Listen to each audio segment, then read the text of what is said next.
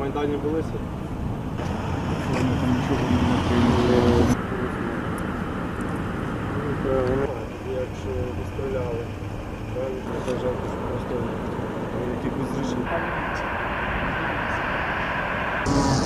Це якісь війська,